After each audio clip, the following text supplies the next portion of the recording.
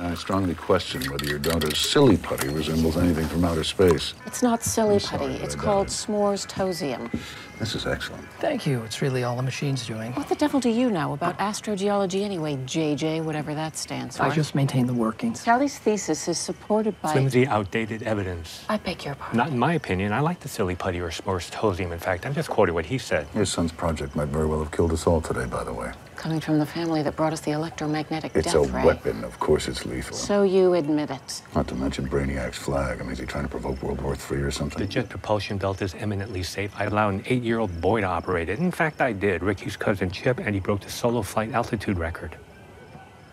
They're strange, aren't they? They're children compared to normal people. Yes. That's correct. It's true. Mm.